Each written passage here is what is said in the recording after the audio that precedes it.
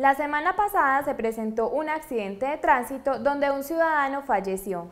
Además, nuestro compañero John Dairo habló con los funcionarios de la Secretaría de Tránsito y Transporte Municipal sobre la movilidad en el municipio. Veamos.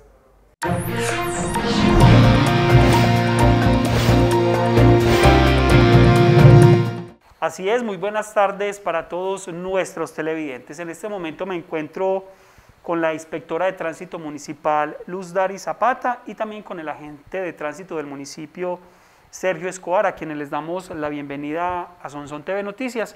Buenas tardes, gracias a ustedes por, tenerme, por invitarnos a este espacio. Buenas tardes. Bueno, ¿qué tal si comenzamos hablando sobre un tema que sucedió la semana pasada, específicamente el día viernes, y fue un, supuesto accidente de tránsito en la vía sexta, eh, cerca de la Casa de la Juventud, para ubicar a todos nuestros televidentes. Hay muchos rumores y versiones sobre, sobre este hecho, pero ¿quiénes más que ustedes, las autoridades de tránsito del municipio, para que nos aclaren y nos especifiquen qué fue lo que sucedió el día viernes? Sí, el pasado 4 de diciembre del presente año, sobre las 18 horas, nos reportan un accidente de tránsito en la carrera 6 con calle 8 de inmediato acudimos al lugar de los hechos. Al llegar nos informan que la persona que en un principio resultó lesionada y que posteriormente pierde la vida había sido trasladada de inmediato a sala de urgencias del Hospital San Juan de Dios Onzón. La primera información que se maneja es que la persona en calidad de peatón se cae del andén a la vía, justo en el momento en que iba pasando un vehículo y es atropellada por él mismo. Horas más tarde, esta información se confirma por parte del Grupo de Policía Judicial de la Inspección de Tránsito de Sonsón, y gracias a una investigación y una prueba documental en la cual se evidencia que efectivamente la persona en calidad de peatón de género femenino y de avanzada edad se cae, de, se cae a la vía justo en el momento en que iba pasando el vehículo automotor. Aunque este hecho es muy lamentable y es un caso fortuito para la Ley 769 del 2002, en su título 1, capítulo 1, artículo 2, nos define como accidente de tránsito que es un evento generalmente involuntario, generado al menos por un vehículo en movimiento, que causa daños a personas y bienes y que afecta la normal circulación de, de los vehículos. Por este motivo, este lamentable hecho entra como accidente a la Inspección de Tránsito y Transporte del municipio de Sonsón. Cabe resaltar que este infortunado evento no obedece a imprudencia ni del peatón ni del conductor del vehículo.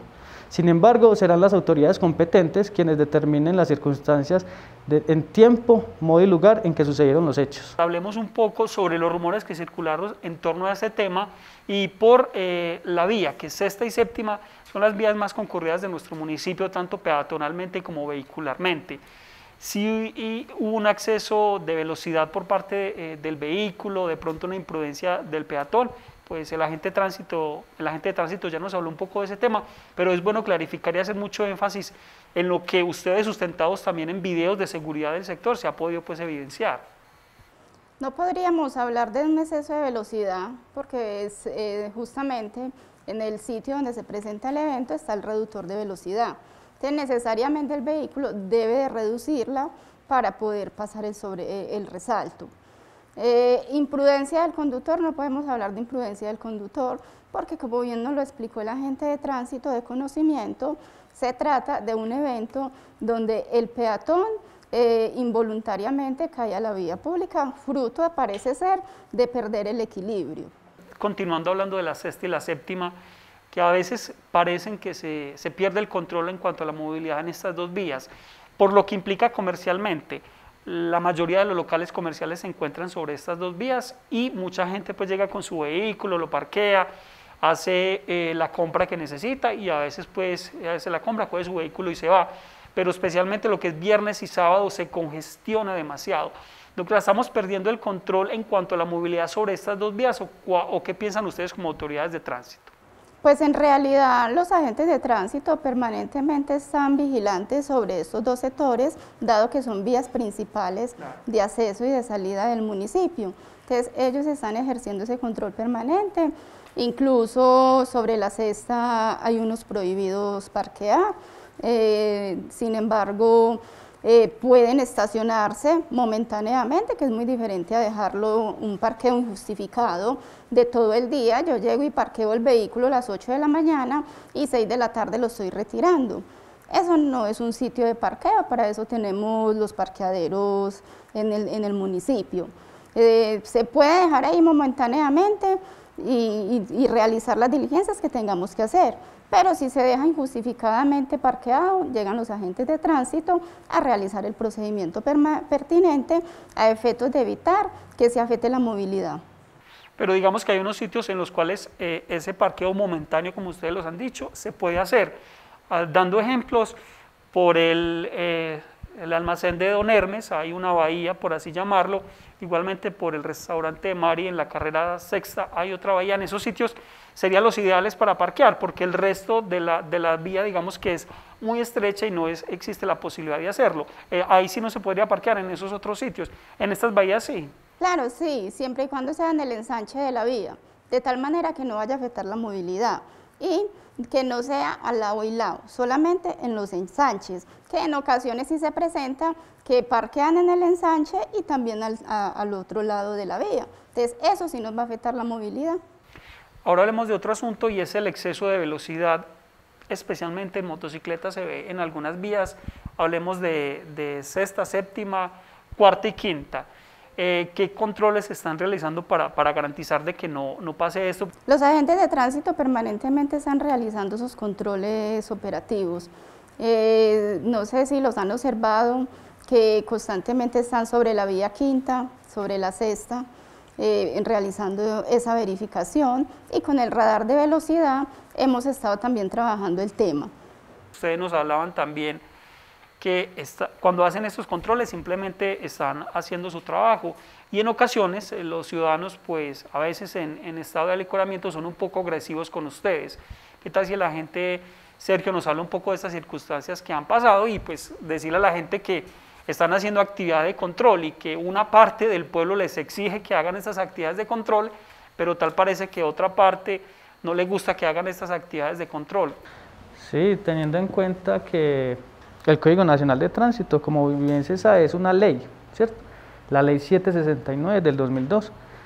Y como toda ley hay que cumplirla, constantemente hacemos puestos de control en los cuales se verifica documentación, que anden en el sentido de la vía que, que, se debe pues, andar mediante la señalización pues, que tiene el municipio. Efectivamente, pues, en, estos puestos de, en estos puestos de control eh, hay mucha falta de tolerancia por parte de las personas. Nosotros igual estamos haciendo nuestro trabajo y los conductores, todo actor vial sabe que ellos deben de andar con, con, su, con su, documentación en regla. Adquirir un vehículo eh, no es simplemente el hecho de conseguir ese vehículo, sino que implica otros factores, hablemos de ellos, y que son otras condiciones con las cuales se debe tener claro que si yo compro una motocicleta o un, un, vehículo, también tengo que tener esa reglamentación al día. La inspección de tránsito y transporte del municipio dotándola de una camioneta, de un vehículo tipo camioneta, eh, con la finalidad de ser más operativos, de poder llegar a los sitios eh, de difícil acceso como es la zona rural que eh, se ha evidenciado en los operativos de control que realizan los agentes de tránsito que el área rural eh, las personas son las que mantienen los documentos vencidos, no tienen su vehículo eh, eh, mecánicamente viable. Entonces es tratar de llegar a ellos, sensibilizarlos, llevarles a ellos el mensaje que si yo adquiero un vehículo, estoy adquiriendo la responsabilidad de tenerlo al día, de tener sus seguros al día, de tener la revisión técnico-mecánica vigente, de tener una licencia de conducción, que no es solamente adquirir un vehículo y ya, y me movilizo en él, he hecho combustible y me movilizo. También eso conlleva otro tipo de responsabilidades. De ahí los operativos de controles de los agentes de tránsito que se realicen y no es que se busque afectar a las personas económicamente como se, eh, se pretende en ocasiones, o la gente piensa que es por afectarlos y porque vamos a recaudar. A nosotros no nos interesa tanto el recaudo, nos interesa es la seguridad del ciudadano en las vías de nuestro municipio. Y en esa medida no es agredir a la gente de tránsito porque está realizando su labor, es respetarlo y saber que si él está haciendo ese requerimiento es dentro de los lineamientos legales y es para salvaguardar la vida e integridad de ese conductor y de la misma comunidad. Otro sector del municipio que a veces presenta dificultades en la movilidad, pero es por el contexto del espacio, es la plaza de mercados, popularmente lo conocemos como las galerías, porque allí se encuentran las bodegas donde se almacenan los productos agropecuarios que entran de las veredas, igualmente que salen del municipio hacia, hacia las ciudades grandes. Por ese contexto es a veces complicado el tema de la movilidad, pero a veces se hace intransitable, imposible moverse por este espacio. ¿Qué se está haciendo desde la inspección de tránsito para, eh, digamos que por lo menos hacer viable la movilidad en este espacio? Pues los días, los días de, mayor congestión, es decir, que, llega la carga, eh, los agentes de tránsito permanecen en el sitio tratando justamente de mejorar la movilidad en el sitio. Es una problemática que siempre hemos tenido en el sector por las bodegas que, que se encuentran en el sector. Sin embargo, esperamos que ello logre mejorar cuando se implemente el centro de acopio que nos lo trasladen allá, todas estas bodegas indudablemente van a ser trasladadas allá y eso nos va a mejorar mucho la movilidad en el sector. Finalmente, según reportes de ustedes, este año se presentaron tres personas fallecidas en accidentes de tránsito en el municipio. Eh, esperamos pues que los controles continúen y que el tema de la, de la movilidad no conlleve a más muertes, especialmente pues en estas vías sexta y séptima que a veces nosotros como ciudadanos del común lo vemos un poco eh, descontrolado. Finalmente, como ese llamado a las personas a que eh, ustedes eh, deben realizar pues, su trabajo que es de control y si hay una persona mal estacionada, si hay un vehículo con exceso de velocidad, pues uno espera de sus autoridades de tránsito que ejerzan ese control, pero que nosotros como ciudadanos y los que son conductores también tienen unas, unos, unas normas que deben cumplir y a las, y a las cuales aceptaron a la hora de adquirir un vehículo. Hagamos ese llamado a los ciudadanos. Es importante tener en cuenta que todos como ciudadanos somos responsables y debemos responder por la seguridad vial. No es solamente la administración en cabeza de la inspección de tránsito y transporte la responsable de garantizar esa seguridad. Somos nosotros como ciudadanos los que debemos ser conscientes de que debemos aportar a esa seguridad vial. Si yo aporto eh, logro que la, labor de la inspección de tránsito y transporte sea mucho más eficiente. Bueno, finalmente y de manera muy breve, ¿cuáles son las medidas que se esperan para el próximo año, teniendo en cuenta pues que este, este casi no pudimos hacer muchas actividades por el tema de la pandemia, como para mejorar el tema de la movilidad en el municipio? Este año en realidad sí se realizó, sí se trabajó bastante a pesar de pandemia. Sí, eh, se redujo sustancialmente la accidentalidad, eh, en el tiempo de pandemia.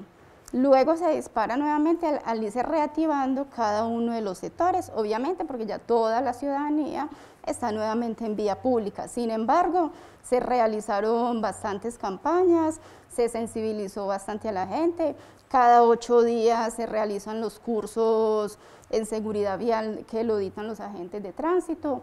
Entonces, en esa medida es el llamado a la comunidad de que acatemos las normas de tránsito y seamos actores viales positivos para la vía.